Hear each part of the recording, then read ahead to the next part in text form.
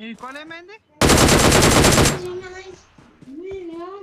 ఇప్పుడు బతుకున్నా రికాల్ అయిపోయింది అనుకున్నా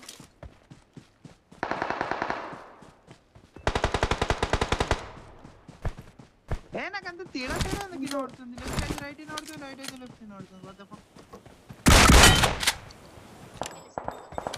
ఏ బాబు వింటి బోలే Marked a location.